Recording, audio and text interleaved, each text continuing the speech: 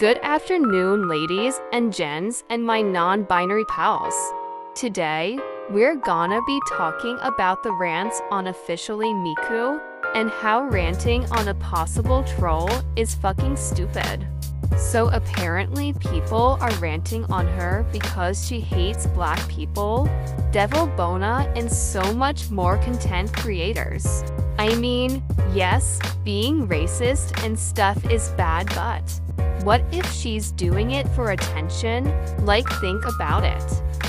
Most white people pretend to be racist because they think being racist can give them attention, which for some fucking reason always works. Let's talk about all those good ass rants. They're all the fucking same, and you can't tell me otherwise. They always talk about racism, killing people, and saying their content is disgusting to them, nothing more.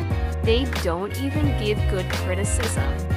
Most of them just saying attack and attack the bitch. Which is honestly fucking sad due to the fact that officially Miku is probably like 9. You just getting people attacking her and probably sending her death threats is no good. Yeah, sorry.